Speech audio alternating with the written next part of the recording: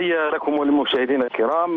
بطبيعة الحال هذا الحدث حدث الهجوم اليوم الذي تبنته المقاومة الوطنية الأحوازية خلال هذه الصبيحة يعني عند هذا العرض العسكري للحرس الثوري.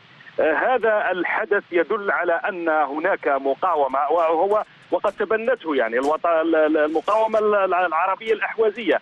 يدل على أن هناك مقاومة يعني واضحة من خلال هذه النشاطات الحقوقية سواء النشاطات الحقوقية وها هو النشاط العسكري يتضح جليا على أن هناك يعني انتفاضة حقيقية للأحواز العربية على أساس أو المطالبة بالاستقلال التام من الاستعمار الإيراني نعم. فاذا هذا دليل على أن هناك يعني هناك يعني هناك حركة عسكرية قائمة تقوم بها التنظيمات الأحوازية وعلى رأسهم هذه المنظمه منظمة المقاومة الوطنية الأحوازية وللغريب أن تنظيم داعش تبنى هذه هذه العملية وهذا للتغطية. يعني يراد بها تغطية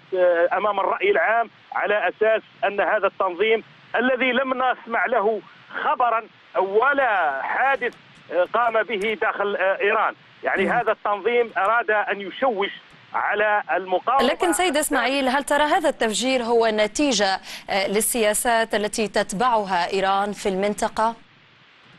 بطبيعة الحال. هذا هذه نتيجة على على المشاريع التخريبية التي الذي ينشرها التي ينشرها النظام الإيراني خارج إيران في المنطقة العربية في اليمن في سوريا في في في في, في العراق في كل المنطقة العربية. وبالتالي فهذا هذا الفعل هو قلت هو دليل على أن هناك مقاومة عربية أحوازية واحد اثنين على أن هناك ردود أفعال ضد ال ال ال ال الإجرام الذي يقوم به نظام النظام نظام طهران نظام ملالي إيران والمشاريع التخريبية التي يسوقها ويسوقها وينشرها داخل في المنطقة العربية بالأخص المنطقة العربية نعم.